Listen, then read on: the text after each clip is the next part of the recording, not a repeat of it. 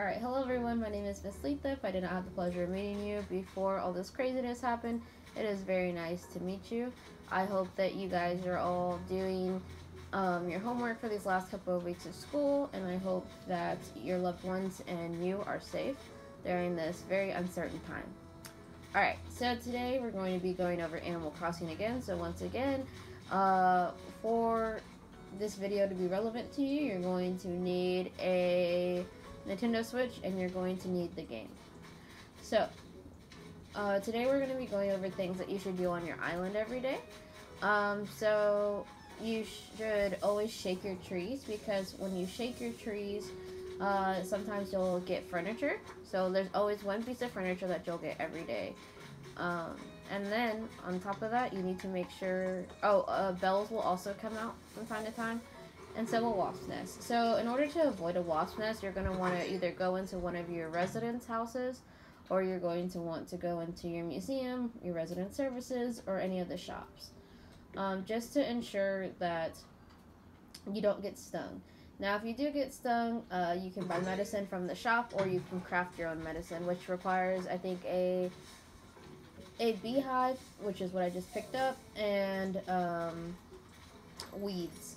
So, if you guys just noticed, I went ahead and uh, shook my tree and a bell fell out, and so a hundred bells fell out, and I immediately picked it up.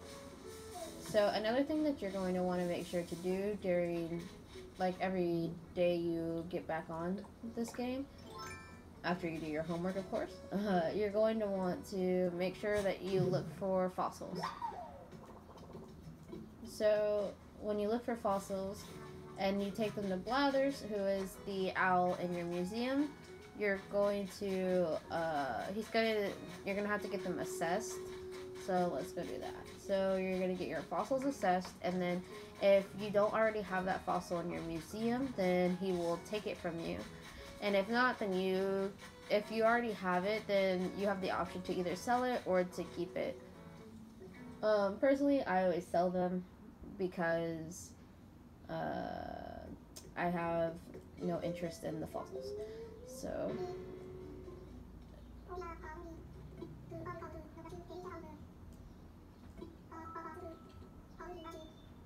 So on the second option right here is assess fossils. So I have two of them in my inventory right now. And so you can click more than one. I didn't know that for a minute. So you can click more than one. Um, and then he'll look at them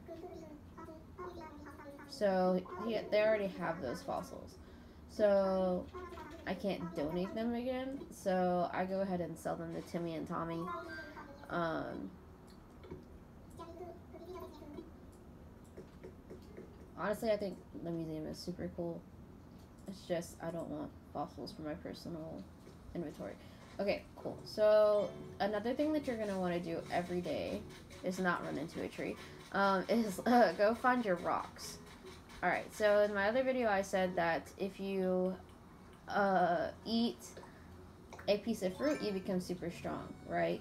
Well, you don't want to do that with the rocks on your particular island because then you're gonna be, you're going to like destroy your rocks, and then you're not gonna have any rocks on your island. So then you can't capture, you can't like get stone or iron or clay without going to a remote island or asking your friends for it. So, um,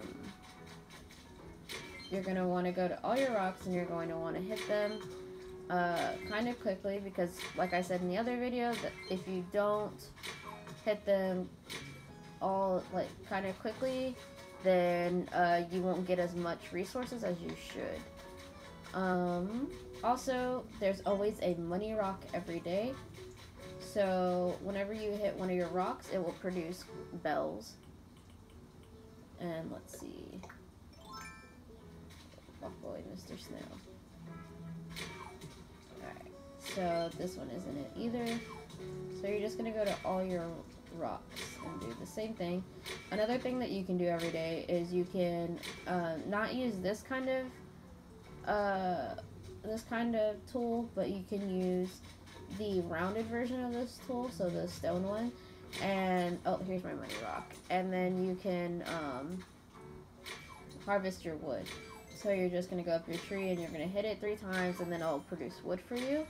Um, the thing is, if you use this one that I'm currently using, then it is going to cut down your tree, and you don't really want that unless you know you're trying to clear an area. But uh, personally, I try not to do that because um, your trees always produce good things for you. So, another thing uh, you can do is you can go, if you have a favorite resident on your island, you need to talk to them every day in order for them to feel, uh, to feel like that you care about them. And because they're your favorite resident, you don't want to lose them. So I always talk to my villager Kevin every day because um, I don't want him to leave my island or even think about leaving my island because he's my favorite. Um, one more thing that you can do is you can go into your uh, residents' houses, and when you do that, sometimes they'll be crafty. And if they are, you go and talk to them, and they uh, give you whatever DIY they're working on. And sometimes they have some really awesome stuff, and sometimes it's stuff you already have. And if it's stuff you already have, then don't worry, you can drop it like I did up here. You can drop them, and if you ever have anybody visiting your island, then they can see if they want them and they can pick them up. Or, you know, you could sell them. But yeah, so once again, I hope you're all being safe, and I'll see you guys next time. Bye.